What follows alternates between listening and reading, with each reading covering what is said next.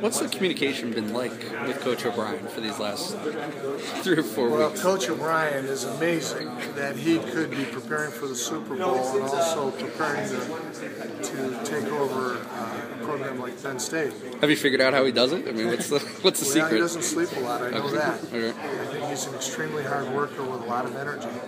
But uh, what we have done is we've stayed in touch with Coach through text messaging, through conference calls, uh, over speakerphones. Uh, of course, everybody knows he flew in for the big recruiting weekend and spent eight hours with recruits and then with us and set some very firm directives in place for us to follow.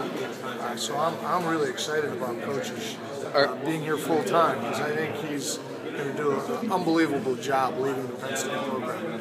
Have you been pleased with being able to sort of keep everything together? I mean, it's been a hectic, certainly and stressful, you know, few weeks. Yeah, and I think it speaks volume about Coach O'Brien and his reputation, the coaching staff he's put in place, and a great group of people that have worked very well together. And then I think it speaks well to the recruits. Uh, that they are some strong character young men who really wanted to come to Penn State.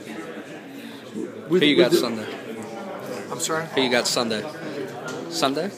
Super Bowl? Oh, oh. There's a game on Do you care? I don't bet on good. Of course not. I don't either. I don't Violation. either. My dad's a minister. I'm not allowed. Of course not. I'm rooting for Coach O'Brien. Fair enough. Thank